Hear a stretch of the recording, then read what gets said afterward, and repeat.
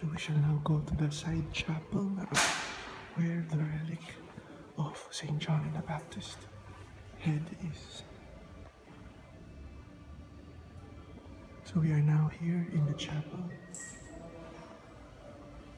And there at the center is the relic of the head of St. John the Baptist, the precursor and cousin of our Lord.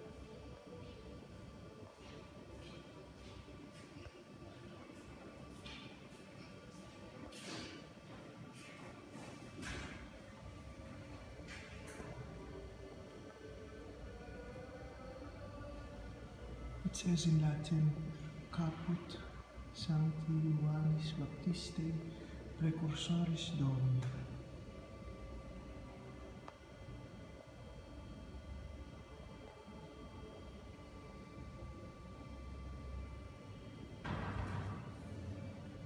And here we have a beautiful image of St. John the Baptist. So we are all praying for you there in the Philippines.